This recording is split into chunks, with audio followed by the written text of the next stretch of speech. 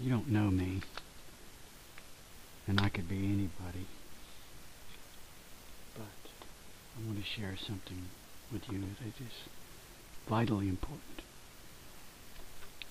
There is a force so secret and so powerful.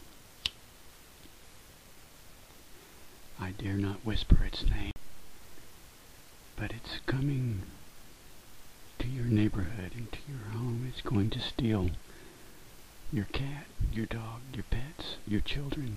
It's going to invade your home and drink your coffee.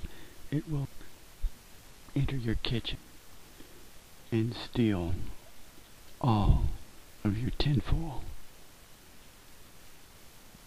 leaving you defenseless because tinfoil is the only remedy, the only shield for your mind.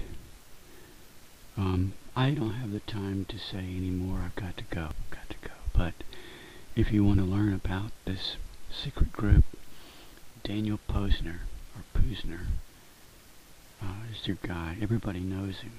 His name's all over the internet. It's a household name, so it won't be very hard to track him down.